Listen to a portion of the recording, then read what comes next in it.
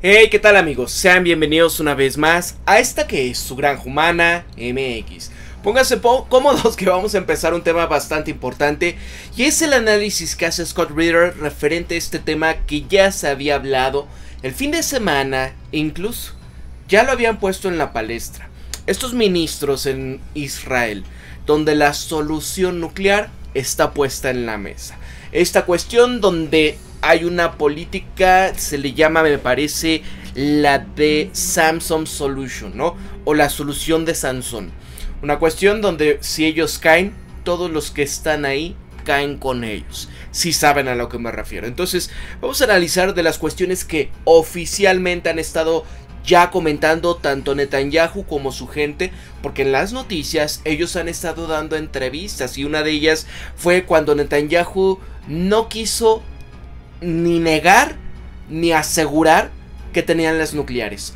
Cuestión que efectivamente el por qué había dimitido o habían ya expulsado de cierta manera a este ministro del Heritage Foundation, algo así, eh, era esto. Porque él dijo que usarían instrumentos nucleares en Gaza. No porque las usarían, sino por una cuestión. Que no puedes tocar ahorita este tema asegurando que ya tienes estos instrumentos de democracia, ¿no? Porque obviamente esto para la ley en Estados Unidos, si están bajo su protectorado, pero si tienen instrumentos nucleares, entonces no los pueden proteger. ¿Se dan cuenta? vamos a empezar amigos, a esto se los voy a traducir al español, es con George Napolitano, Scott Ritter, y vamos a empezar, eso sí, por favor a todos aquellos que quieran apoyarme a través de mi Patreon, se los agradeceré de todo corazón. Gracias a todos los que ya son mis mecenas en Patreon, porque de momento la plataforma me ha castigado de aquí a este enero. Entonces, por favor, yo les pido si ustedes pueden apoyar este canal, háganlo a través de Patreon. Vamos a empezar ahora sí. Miren esto. Scott Reader se nos une esta semana y este tiempo en el show. Muchas gracias por unirte. Gracias por tenerme. Tienes una pieza muy interesante sobre el gobierno israelí y sus instrumentos de democratización masiva. Y hay muchas uh, preguntas que por la semana el Washington Post, antes de que empecemos con esto, había sacado donde habían liberado esta historia donde este coronel ucraniano que está ya retenido en la cárcel dentro de Kiev.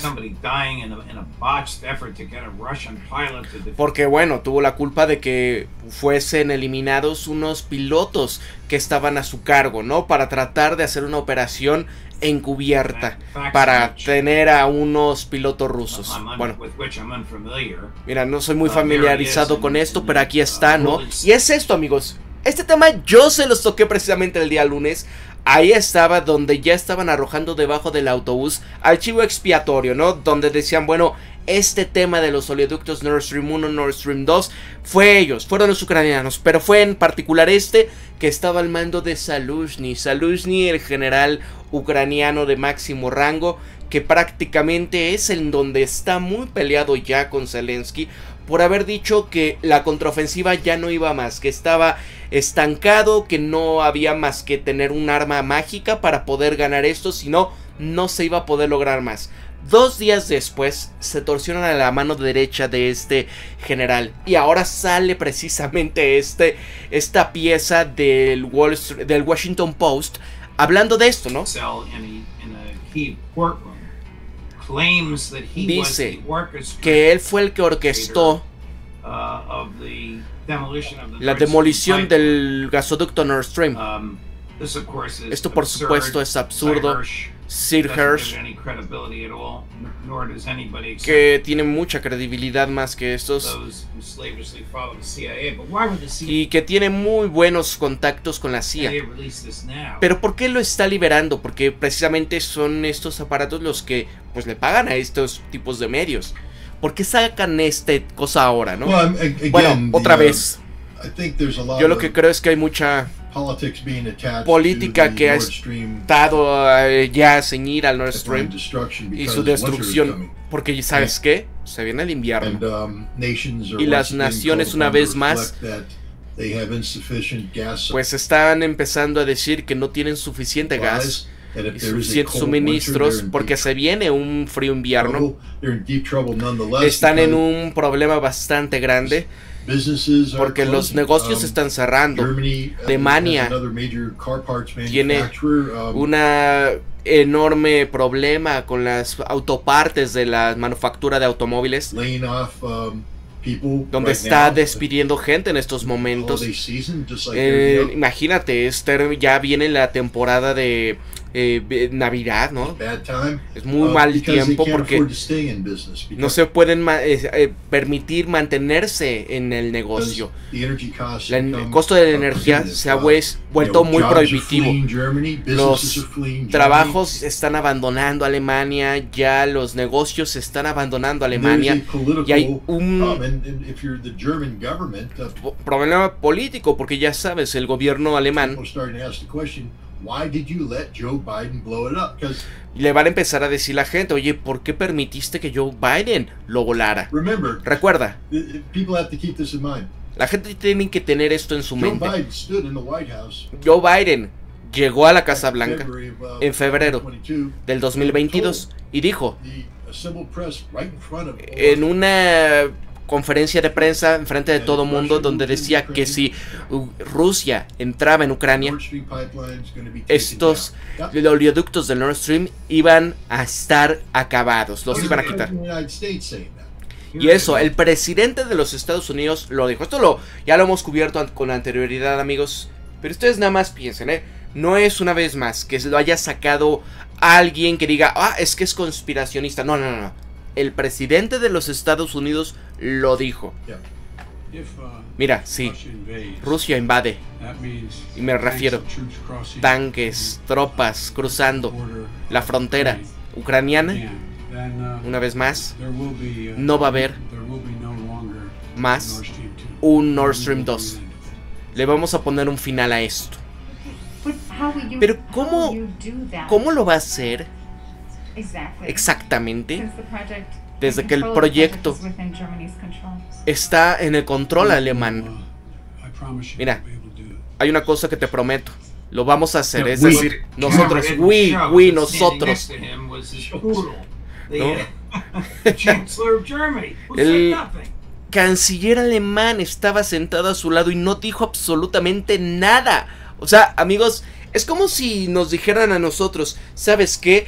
Este, México, si continúa viendo, no sé, alguna cosa, ¿no? Lo que, con el pretexto que ahora nos quieren intervenir, ¿no? El tema del, ya saben qué sustancia, ¿no? Si continúa eso, entonces no va a haber refinería de dos bocas. Oye, pero ¿cómo? ¿Cómo que nos vas a decir qué hacer, no?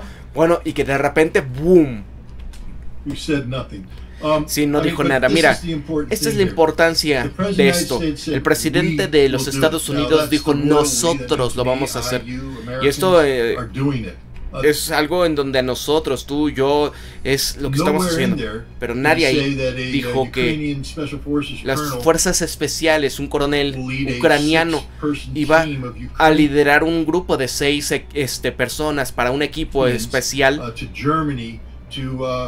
que saliera de Alemania, que rentara este bote de lujo para hacer una misión del tipo Misión Imposible, la película, y hacer esta eh, buceo profundo para um, hacer este ataque. Así que los comentarios son algo que han estado ya pateando en algún tiempo.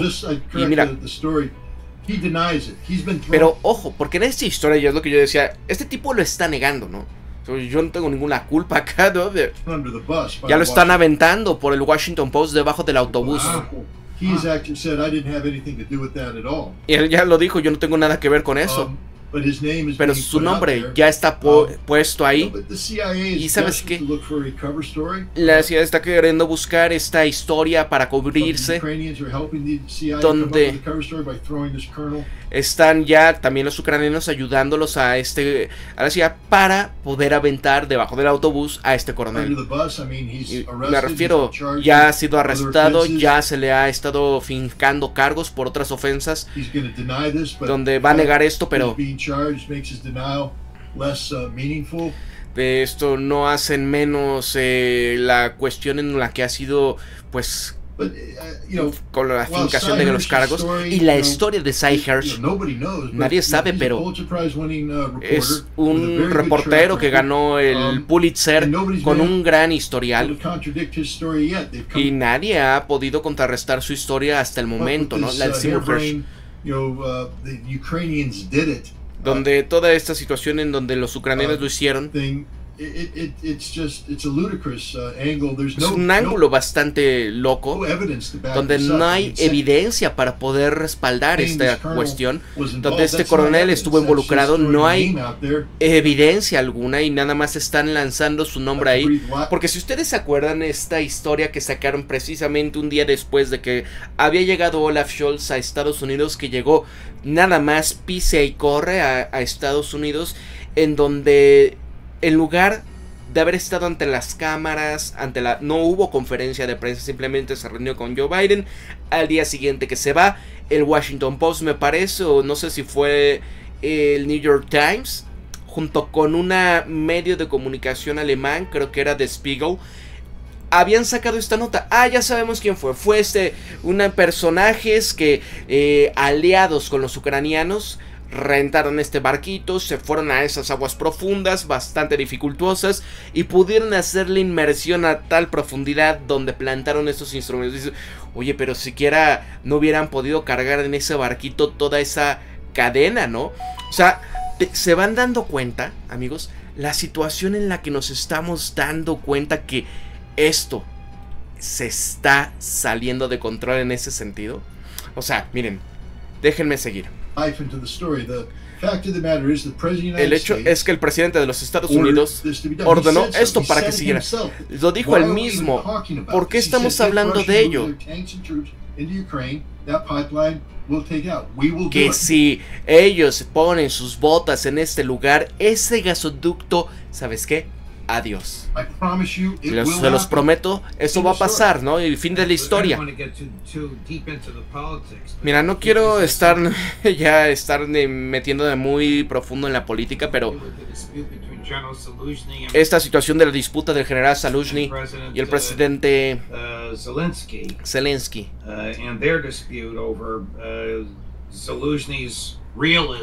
Y el- la disputa que tenían en este realismo de Zelensky. en donde estábamos ya en una situación de, sabes que el conflicto se estancó. Y Zelensky, sus fantasías y sus y alucinaciones, ¿no? A ver, uh, mira, yo no lo sé.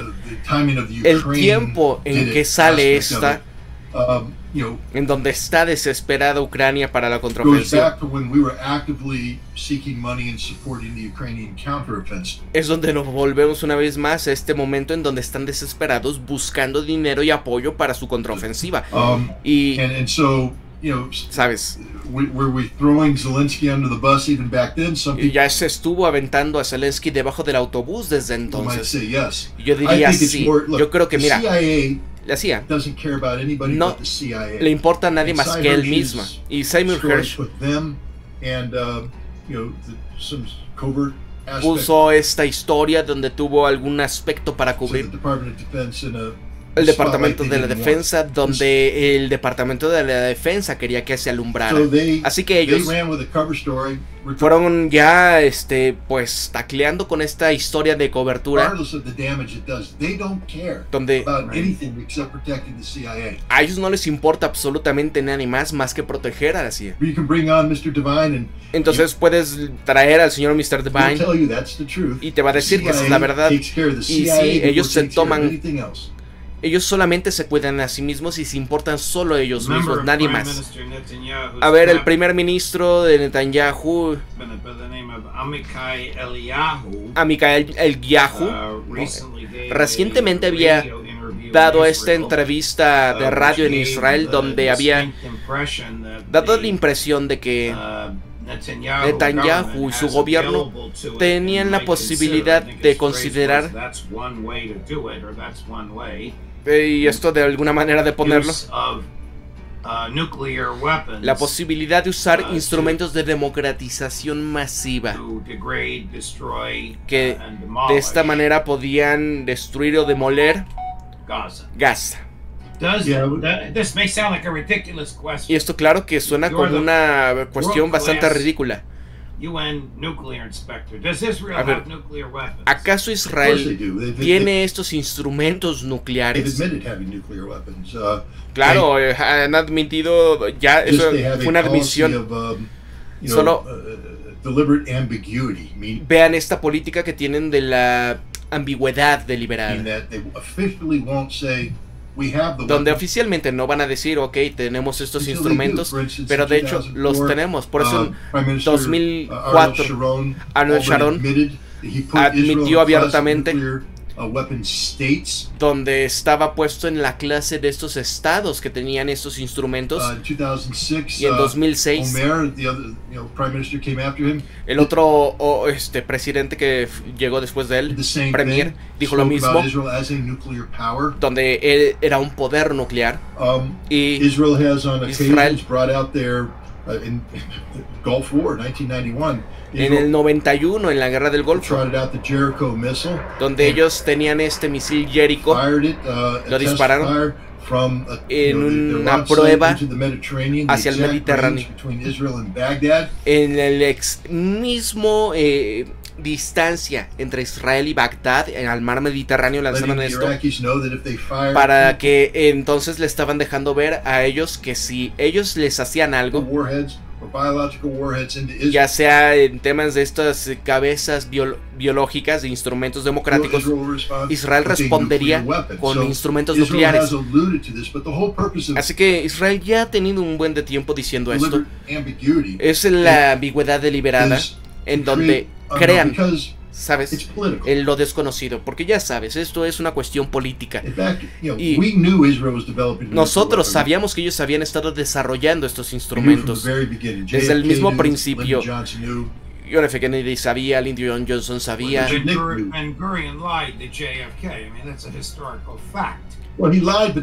No, la mentira búlgara, no fue un hecho histórico.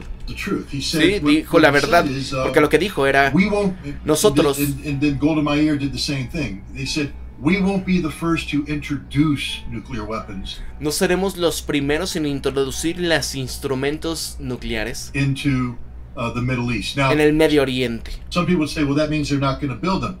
Eso para algunas personas decía, bueno, entonces no los van a construir.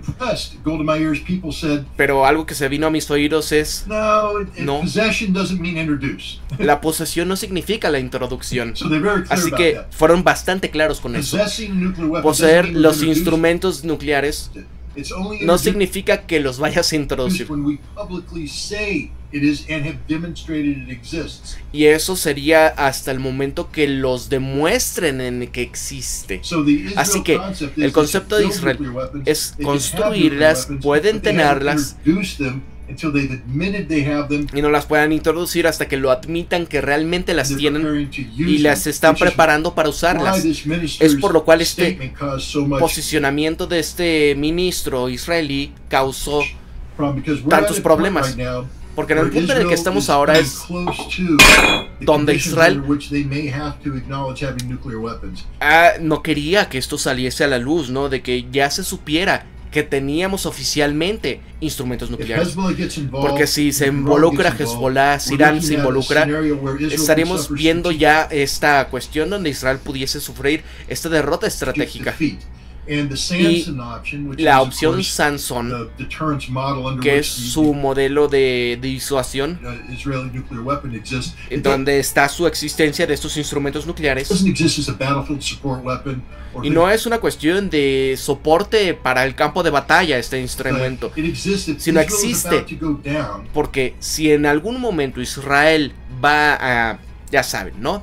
They will take everybody Van a llevarse a todos consigo. Eso es el concepto entero de esto. Que estarían golpeando el Cairo, Irán, Amán, Damasco, Beirut, they todo, quien quiera. porque ellos básicamente lo que están "This is diciendo es que esto es. Sansón tumbando el templo, ¿no? Esa historia de la Biblia en donde pues está Sansón, ¿se acuerdan que le cortan el cabello? Y que después ya está ahí y bueno, ¿sabes qué? Tira las columnas del templo y todo se viene abajo con todo mundo, ¿no? Así que no nos vamos a ir jun- eh, solos, nos llevamos a todos. ¿no? Um, very yo me voy, tú te vas. Es una cuestión muy delicada. Y es Uh, una cuestión donde um, Estados Unidos tiene que entrar. y donde este ministro tuvo que salir y a introducir esta noción del potencial de la existencia de este instrumental nuclear y donde lo pudiesen Uh, implementar independientemente de si no es parte de la toma de decisiones. Es por lo cual fue reprimido. No porque dijo cosas de eliminar a palestinos, porque a ellos no les interesa. Ellos-. E introdujeron este tema de manera prematura. Y esa es la decisión que hemos estado haciendo a de la cuestión israelí en el momento Cuando ellos elijan. y ellos aún no habían hecho esta llamada, ¿no? um, Eso es por lo que se metió en problemas. Pero sí, claro que las 60 to tienen. 80 uh, Están hablando de cerca de 60, 80 disagrees, he's saying instrumentos. It's about 200. No, But, uh, Maverick, es decir, su perro está en desacuerdo. No, son I 200. think the, the latest numbers are about 60 to 80 nuclear weapons in the uh, Israeli I'm army. going to- I'm to play a clip of Prime Te voy a Minister poner un Netanyahu clip del primer ministro Netanyahu. Nations not very long ago, No hace mucho tiempo, donde estaba ya este hablando y presumiendo Del tema de los fanáticos. pero lo más importante fue su última oración. Irán debe de enfrentar, es decir, la creíble amenaza nuclear. Miren esto, lo que dice Netanyahu. Now you know, Ustedes saben, le- damas y caballeros, saben que hay una mosca en esto. Porque los fanáticos que están en Irán harán todo lo que pueden to thwart this historic peace. para ya estar amenazando esta paz. Cuando Irán siga amenazando estos eh, de transporte internacional, ¿no? Estos barcos. Y en donde va a estar secuestrando con, por cuestiones, ¿no? Comerciales. Y donde esté chantajeando con temas nucleares. Over the past year, El pasado año, sus matones eliminaron a cientos, si no miles, de sus ciudadanos. Ellos iniciaron un programa de mi- misiles amenazando a Israel y a nuestros vecinos y sus drones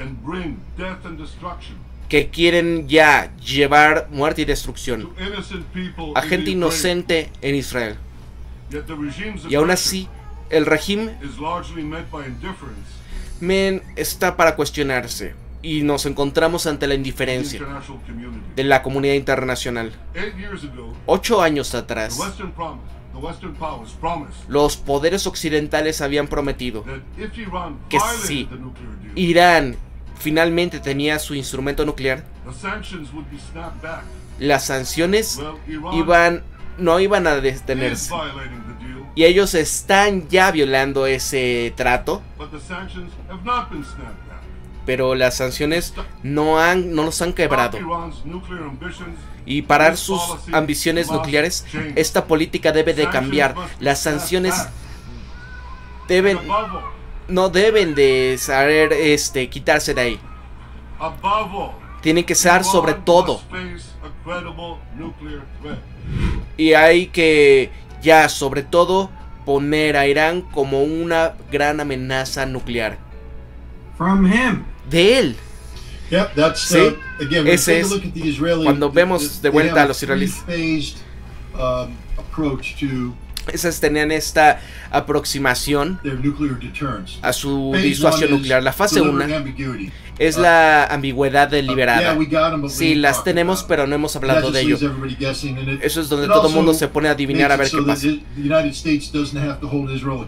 Y es en donde, bueno, obviamente tienen a los estadounidenses que no los están llamando a cuentas a los israelíes por violar la política de no proliferación de instrumentos nucleares. Donde si él se declara como un estado nuclear, ellos este tratado de no proliferación de armas nucleares ya no los reconocerían. Donde pues los Estados Unidos les impondrían sanciones mandatorias. So we're playing a game. Nixon Y started it where Estamos ya jugando un juego al estilo de Richard Nixon, you know, see no here we speak. We just won't talk about it. donde no oigo, no escucho, ¿no? No hablamos de ello. Y ahora- Cuando están ya hablando en nombre de nosotros, los israelíes, donde ellos solamente están hablando en nombre de ellos, se están ya entonces moviendo a su fase número of 2 their de su disuasión. Es por lo cual lo que estamos enfrentando hoy es bastante peligroso porque una vez que una vez que pase esto, el siguiente es una demostración donde otra vez veremos misiles, Y después puede haber una prueba nuclear bajo tierra we ain't joking, we got it. donde digan, oye, ¿sabes qué? No estamos bromeando, las tenemos. Y si Irán continúa haciendo esto, el siguiente paso es fire the missiles, take out Tehran. lanzar los misiles y borrar Irán. How absurd to hear him Qué absurdo escuchar a él uh, llamar al líder de Irán fanáticos. see the fanatic, how ridiculous it is for him to complain that Iran is para decir y quejarse de Irán que están violando las sanciones. cuando no se han impuesto las sanciones a cuestiones que él está violando Y donde está violando la ley federal estadounidense para dar esta situación financiera de asistencia a un país que está no cumpliendo con las leyes de las Naciones Unidas y sus protocolos que tú conoces mejor que nadie del planeta para el tema de armas nucleares. ¿Cuál es tu contestación? Aquí está Mi ex colega, el señor Cuomo, Yes or no Prime Minister uh, Netanyahu. que a ver sí o no sobre el primer ministro Netanyahu en lo que Israel sí tiene las capacidades nucleares. Y ojo, ojo con lo que le dice, ¿no? A ver, Así. ¿acaso Israel tiene capacidades nucleares o instrumentos nucleares? ¿Sí o no? Mira la cara. Mira, siempre hemos dicho que no seremos los primeros en introducirlos, been introduced. así que no las hemos introducido. Es decir, pero esa no es una respuesta a la cuestión. Do you have them or do you not? ¿Las tienes o no? It's as good an answer as you're gonna get. Es las únicas respuestas que vas a tener, ¿no? O sea, sí las tiene, pero no lo está diciendo realmente, ¿no? ¿Se dan cuenta? Same as uh, Ben Gurion, we won't be the first to introduce them into the REIT. Lo mismo que los Ben Gurion, que no seremos los primeros en introducirlos. Yeah, that's And their it's as good standard an policy. answer as you're going to get. I can't imagine No puedo uh, imaginar the Congress el uh, Congreso obeying obedeciendo federal law which prohibits it la ley federal que en realidad está viendo esto, de to, darle uh, fondos countries that a países comply with UN que están protocols fallando con cumplir con estos protocolos de las Naciones Unidas como esto de la no proliferación. Y ese país es Israel. Well, I can imagine it Mira, because the Me lo Congress. puedo imaginar porque el Congreso mean, let's just be frank here. Hay que ser franco, out Judge. By, uh, the Israeli lobby. I mean, eight han sido comprados por este lobby. ¿no? um, I, was I bought. meant that I can't imagine Congress not giving the money because of this. Mira, no me imagino al Congreso no dándoles el dinero por eso. No, no, no. No, no, no, no, no, no. is controlled by Bibi Nuestro- Netanyahu. ¿Acaso nuestro Congreso está controlado por Bibi Netanyahu? por ayudar a Israel? A ver. ¿Cuántas veces has escuchado que un congresista o senador a member of the U.S. intelligence community, o does, pregúntale a un miembro de inteligencia, does Iran have a nuclear weapons? ¿acaso Irán tiene un instrumento nuclear? Do we have to worry about Iran's nuclear Nos tenemos que eh, preocupar porque Irán vaya a obtenerla. Uh, Israel have a nuclear weapon? They've never ¿Cuándo has escuchado acaso hablar de esto, pero del otro lado, en lugar de decir, oye, ¿acaso Israel tiene instrumentos nucleares? Never asked the question. No hagas, nunca han hecho la pregunta y jamás van a hacerla porque la respuesta abriría el hoyo de la caja de Pandora. If Israel has a nuclear Si ellos lo tienen, y sabemos que lo tienen, Te lo garantizo que lo I tienen. Mejor que te lo puedo de- mejor que nadie te lo puede decir. Sabemos, there's no ifs, ands, or buts. We know they have. it. sabemos que lo tienen. Y el hecho they won't ask the question because es que no están haciendo la pregunta. lie. Everything, just so people know, everything we're doing with Israel, everything we're doing Todo lo que hemos hecho con Israel, violando la constitución estadounidense. because ojo, esto no es ser antisemita, porque una cuestión es que la ley es la ley. When Judge again, correct me if I'm wrong, Y corrígeme yo si, si me equivoco o no. Porque estas cláusulas constitutivas de las Naciones Unidas, donde si estamos ya entrando con un tratado y es ratificado por los Estados Unidos y su Senado, se convierte en la ley de la tierra. Y donde está este tratado de no proliferación que no se nos impuso, o sea, nosotros lo escribimos. y we are therefore bound Por lo tanto, tenemos que estar ya dispuestos a honrarlo, ¿no? deliberately ignoring it in the case of Israel. Y bueno, aquí lo estamos ignorando deliberadamente en el caso de Israel. Before we A ver. watched the uh, clips of Prime Minister Netanyahu, you were Antes del clip de lo que dijo el primer ministro Netanyahu, talking about hablando uh, de Israel's conventional military capabilities. sus capacidades convencionales militares, ¿no? Tienen estas capacidades convencionales militares para pelear en una intervención de dos frentes, una en Gaza y otra en el West Bank. Hez- or near the West Bank against Hezbollah. contra Hezbollah. Mira, tienen the potential to put el potencial over a half a million troops in the de poner cerca de medio millón de tropas en el campo. Y si Propones estas, eh, esta población de manera proporcional, if you put, you know, 360,000 360 mil al norte para estar luchando con Hezbollah y los demás para proteger la periferia. La respuesta es que van a empezar a tener una acción total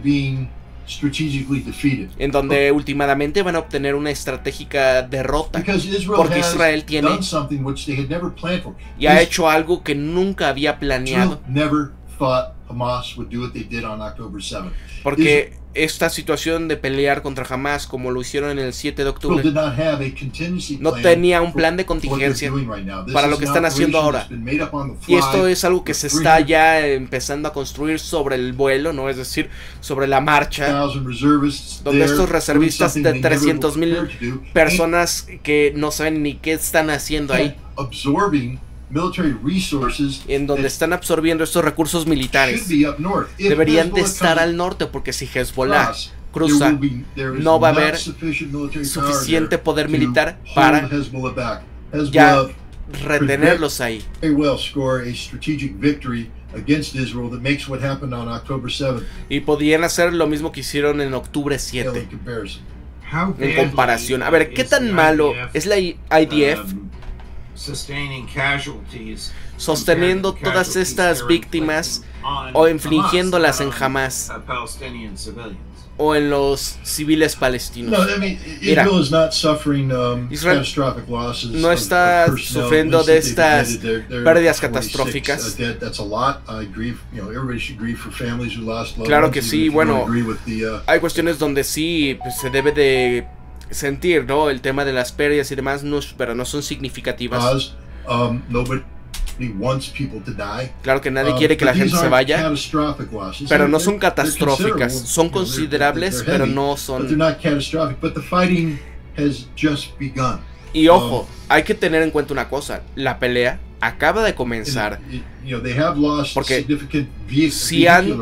Eso sí que han perdido significativa cantidad de vehículos uh, tan mal para- they had sold a bunch of Merkava 3 tanks to donde podemos ver el tema de los Merkabah que se los han torcido, como tres de estos, en. Morocco y en otras Uh, naciones, donde han cancelado las ventas de ellos configure these Merkava battalions into emergency Para- reserve battalions reconfigurar esto y tener a sus batallones de la reserva uh, to replace the para ya poder este re- reemplazar estas pérdidas in Gaza and also En Gaza y también contra significant Hezbollah que se number of, uh, destruyó un Merkava significativo tanks over the número de tanques weeks. en las últimas semanas. they- Así que no es they haven't suffered the kind of losses that they took in Yom lo que han sufrido de cantidad de pérdidas como lo que fue en la guerra de Yom Kippur. This, this war has literally Esta intervención um, apenas está comenzando.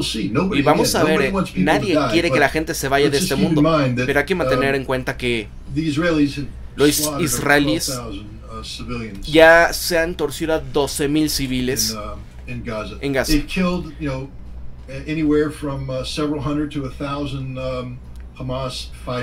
Se han llevado cerca de mil eh, peleadores de Hamas, Um, but you know, Hamas still has pero ya sabes, tiene decenas de miles de luchadores todavía eh, operando en los túneles, que va a ser una pelea todavía muy difícil. Uh, A ver, ¿cuál Prime es Lo que el primer ministro Netanyahu dice uh, En Gaza. Donde dice no es una paz justa. Porque al final no estamos viendo el rescate de los rehenes, sino es el barrer con todo eso. Mira, él ha sido bastante honesto con esto. El objetivo de Bibi Netanyahu en Gaza es su supervivencia política, Es un hombre que está ya caminando en hielo bastante delgado, October 7th by rewriting, Israeli Reescribiendo la ley este, policial, donde quería controlar el tema judicial para evitar que él fuera por cargos de corrupción a la cárcel. Cientos de miles de israelíes ya estaban en las calles protestando en contra de eso y ahora lo que estamos viendo es- said, "I'm the guy that Israel turns to if donde, bueno, es como al frente del tema de seguridad, dice yo soy el tipo que va a asegurarlos y él falló esto completamente el 7 de octubre. Y Fue uno de los peores fallos de seguridad en la historia de Israel. Y bajo no- situaciones normales o condiciones normales, él ya lo hubieran sacado. His Hacía su gabinete y su gobierno, pero por que han declarado esta intervención, están utilizando a este conflicto a como un vehículo para mantenerse a sí mismos en el poder. eh, y haciendo estas situaciones tan "We will desgraciadas, Don- will occupy Gaza." donde están supuestamente diciendo que van a destruir a Hamas, van a ocupar Gaza, y donde dicen vamos a tomar completamente Uh, Gaza. Cosas de esa naturaleza. Y hay que entender esto. Hay mucha presión en Baby. Netanyahu para ponerlo de un lado. Estados Unidos ha hablado ya de ello. El gabinete israelí ya lo ha hablado. Así que tenemos que tomar sus palabras con un grano de sal. Quizás no vaya a estar más ahí por mucho tiempo. Living through the last moments of a failed Quizás está viviendo en sus últimos momentos como primer ministro. Porque Cuando puedan sentirse ya de alguna manera conformes y busquen a alguien para reemplazarlo, um, para que no sigan debilitando a Israel de la manera en la que ahorita están perdiendo. Porque de estos momentos eh, Israel no puede reemplazar a Bibi Netanyahu si todavía sigue la amenaza de Hamas. Pero ya sabes, las cosas cuando se calmen y se estabilicen, te garantizo que lo van a sacar. Todo lo que ha dicho es irrelevante porque esta intervención que empezó con Netanyahu seat. It won't end with Netanyahu in the driver's en Gaza no va a terminar. A ver, aquí uh, está él question about rechazando el responder, el tomar la responsabilidad 7th. por el octubre 7. Hay una cosa que quiero escuchar de usted. si usted va a asumir la responsabilidad de fallo al haber tratado de prevenir lo que fue en octubre 7 y proteger a su gente. Yo sé que ha dicho que llegará el tiempo de responder. ¿Por qué no toma ya la responsabilidad ahora? Esto fue en domingo. Lo he dicho muchas veces. Como muchas veces en la guerra. Mira, la gente le preguntaba a Franklin Roosevelt después de Pearl Harbor. La gente le preguntó a George Bush después del 11S. Y mira, sí, claro que es una pregunta que se debe de hacer. Y por eso se lo pregunto, dice ella. Te voy a decir una cosa que es importante. Y le he dicho que voy a responder todas estas preguntas. Y sí, claro, me van a preguntar de estas duras preguntas. Pero lo que te voy a decir es lo que voy a hacer y eso es unir al país con un propósito. Un solo propósito. Lograr la victoria. Es formar este gobierno de unidad donde el país esté unido más que nunca antes. Y eso es lo que tenemos que perseguir. Y otra cosa que la gente me está pidiendo que haga ahora, lograr esta victoria, asegurarme que Gaza no se convierta más en una amenaza. Entonces está usted, este, pues, decepcionando, ¿no? Tomar la responsabilidad.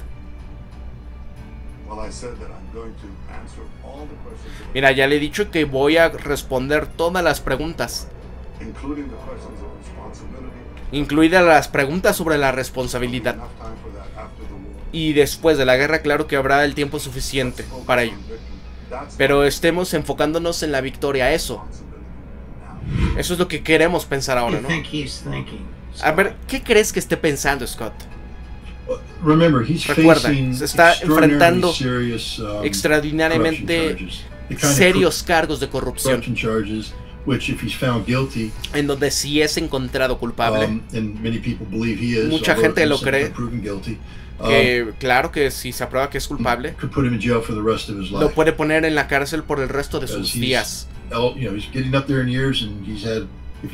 Y ojo, si tú lo ves, ya está en sus últimos años de vida. Um, ya eso es precisamente por los procedimientos de corazón que ha tenido. He's not a healthy man. No es un hombre Um, saludable. Está ya espantado de muerte. him. Y ojo, porque también su esposa ha sido ya tiene estos mismos cargos de corrupción. Así que es lo que está How pensando. do I prevent myself from going to jail forever? Y ojo, yo creo que va a ir a la cárcel para Uh, siempre. Eso es lo único que le importa, ¿no? No le importa Israel. ¿Cómo le va a hacer, no? O sea, ¿cómo le, le importaría si fue el hombre que está reescribiendo el tema de la ley para ya librarse de este juicio? Donde puso a cientos de miles de gente en la calle. Él solamente le importa a Bibi Netanyahu. Y esto lo prueba. Un "I- líder de verdad diría, soy responsable. Yo soy el tipo que tiene toda la responsabilidad. Así que quítame mi cabeza. Pero hasta que eso pase, tengo un trabajo que hacer, que es liderar a este país hacia la uh, victoria. Pero ya sabes. Ni siquiera he estado hablando de esto.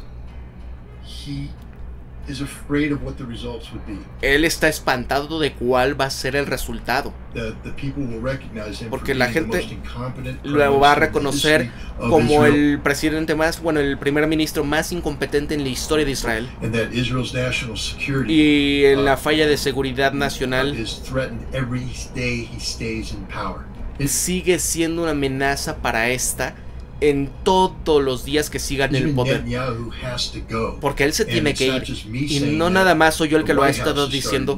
La Casa Blanca ya empezó a decirlo.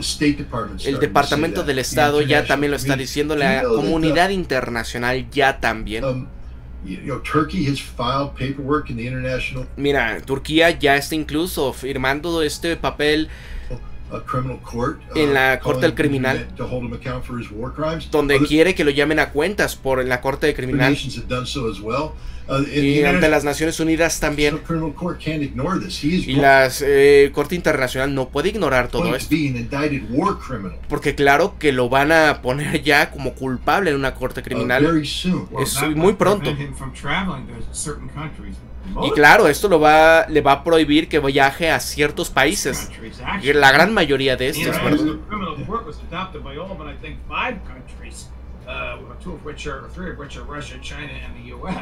Y hay algunos como China, Rusia y los Estados Unidos donde no lo aceptan. Nada más. Mira, el único país al que puede viajar es a los Estados Unidos. We're not a signatory to the International Criminal Court, so Donde nosotros no hemos firmado estas cuestiones de acuerdos con la Corte Internacional. no estamos eh, dispuestos a su jurisdicción, ¿no? Incluso hay una cuestión donde cualquiera estadounidense que sea llamado a cargos ahí, ellos pueden intervenir y rociar democráticamente a esa corte. Así está, ¿eh? Um, and we would let him travel, but if he traveled to you know places in Europe, Por ejemplo, si alguno viaja a algún lugar en Europa, pudiese ser arrestado. Pero así es como este hombre debe de ser conocido por la historia. No, o sea, no nada más como un criminal de guerras, sino también como alguien que fue llevado a, a juicio, que se le hizo esta situación. war criminal, and that's what he's concerned about. Y eso es por lo cual está bien preocupado, ¿no? Que enfrente los cargos y obviamente, imagínate que es toda la riqueza, todo lo que tuvo se los quiten a su esposa, a sus, porque eso es lo que, seguro yo ya me voy, pero y los de abajo y todo el, lo por lo que luchó, ¿no?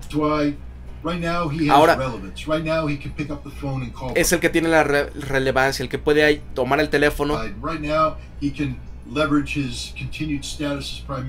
y continuar con su estatus de primer ministro.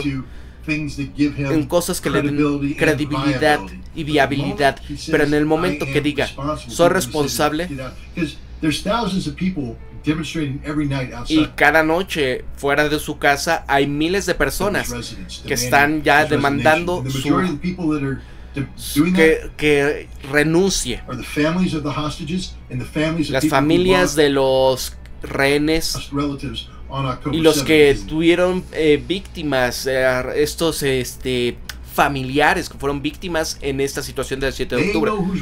Ellos saben quién es responsable y es el hombre que está ahí, del que estamos hablando, Benjamin Netanyahu. Bueno, esto fue lo que dijo Corte 1, Chris, por favor, después de que respondiera a las acusaciones. Mira, a ver, el alto comisionado de los derechos humanos ha dicho, pero véanle la cara, ¿no se les figura un poco como a Calderón cuando se le estaba también diciendo todas estas cosas cuando desató la intervención democrática en nuestro país? Vean, que jamás ha cometido estos ins- crímenes de guerra. Y este castigo colectivo de Israel en los civiles palestinos también son crimen de guerra. Usted, véanle la cara y cómo se pone nervioso para ver sus párpados, sus ojos. ¿Acaso Israel no está rompiendo la ley internacional? Yes, I can say that what the uh, commissioner said is hogwash. No, lo, lo que te puedo decir es que lo que ha dicho este eh, comisionado, eso no es cierto. Not a very uh, compelling answer, Scott. No una respuesta muy com- Competente. Uh, Mira, eso no está atendiendo la cuestión, ¿no? Es un hombre que siempre ha dicho que es conocedor de la ley internacional porque la usa mucho cuando está queriendo tomar eh, a- llamar a cuentas a Irán. Uh, but he knows what Pero- collective punishment is. Sabe lo que es el, co- el castigo He colectivo. also knows that the United También States sabe que los Estados uh, Unidos y Europa colectivamente le han ya vuelto un ojo ciego. 2006 became the official part of the Israeli Donde el 2006 fue oficialmente el momento en el que el uh, partido doctrine, donde esta doctrina de disuasión Beirut suburb, uh, por lo que le hicieron a ese suburbio de Beirut uh, que fue prácticamente arrasado por los because israelíes. uh. Y no porque estaba ese ahí Hezbollah escondiéndose, sino fue este castigo colectivo. because Hezbollah is fighting us successfully in the hills, Porque él veía que Hezbollah estaba haciendo una lucha exitosa en las colinas. we will level Western Beirut. And En donde dijo, ¿sabes qué? Pues vamos a arrasar completamente el occidente de Beirut.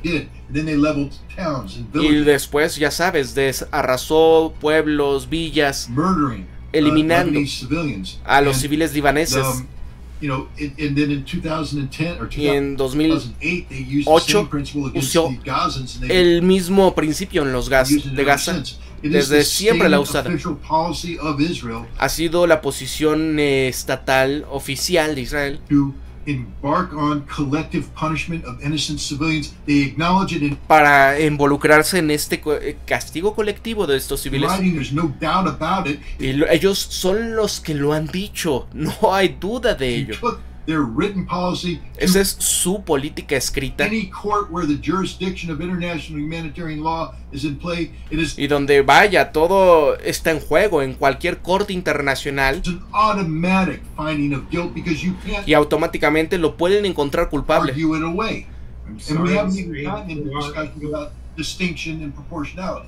Are 100% correct. Está 100% Collective correcto. punishment is by definition El castigo colectivo es por definición a war crime. If un crimen de guerra. thing as summary judgment in a criminal case, this would be the case for it. y si estuviera ya en una corte internacional bajo crímenes, claro que esto es- sería.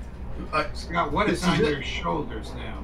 Well, Su gato. Maverick's uh, cat best friend. Uh, El amigo de If I Maverick, tried to su gato. intervene, I'm afraid she would create a storm, so I'm trying to quietly just let this. All right, we're, To uh, we're, uh, we're done. Uh, Bueno, we're vamos, ya estamos. Gracias Scott por todo esto.